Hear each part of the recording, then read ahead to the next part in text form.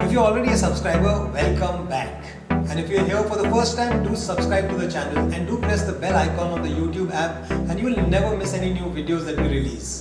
In today's video, we are going to make this DIY measuring wheel that you can simply roll across any shape or surface to find its perimeter.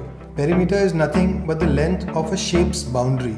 To make this DIY, first take two PVC pipes of 65 cm length and a diameter of 15 mm, that's 1.5 cm.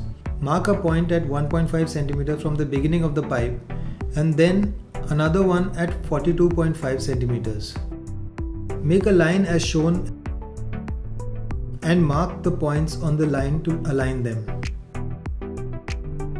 Keep a wooden block underneath the pipe. Take a nail and hammer it on the point to make a depression on the surface. And then you can drill a hole through it as shown. Without this depression, the drill bit keeps slipping.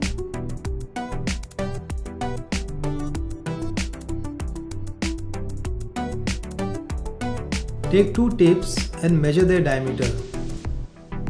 Ours is around 3.75 centimeters. Next, take the circle cutter and measure the radius on it. Take a hard cardboard sheet like the one shown and cut 4 circles out of it. Keep in mind that the first distance of 42.5 centimeters is based on this diameter.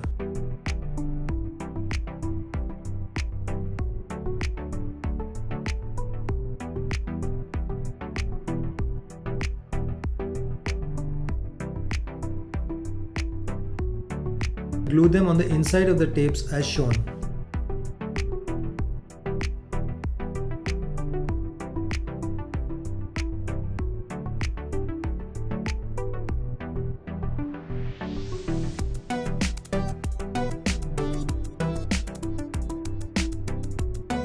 Drill a hole through the center of the circles using the same drill bit.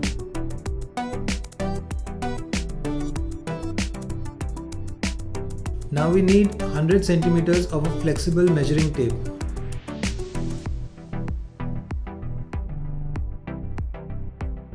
For this, we need to cut at 104 centimeters and then we align the 0 centimeter mark or the start point just on the 100 centimeter mark.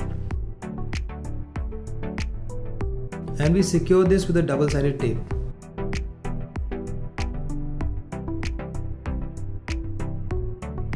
Next, take a bolt that is 6.5 centimeters long. Pass it through the first hole of the PVC pipe and then the tape. Take the measuring tape and put it around the insulation tape in such a way that the numbers are increasing in the upward direction.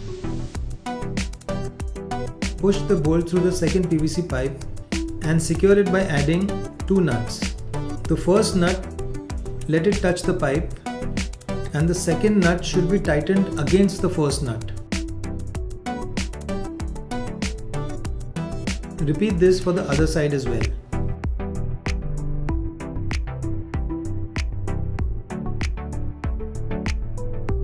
Make sure your measuring tape has gone around both the tapes.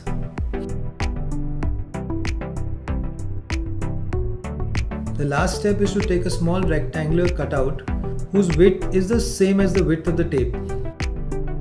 The length does not matter. Use a glue gun to stick this between the pipes. What this will do is maintain the space between the pipes and let the measuring tape roll freely. If the measuring tape still slips, you can add some strong glue to tighten it. Use a marker to mark a line from 95 centimeters to 100 centimeters.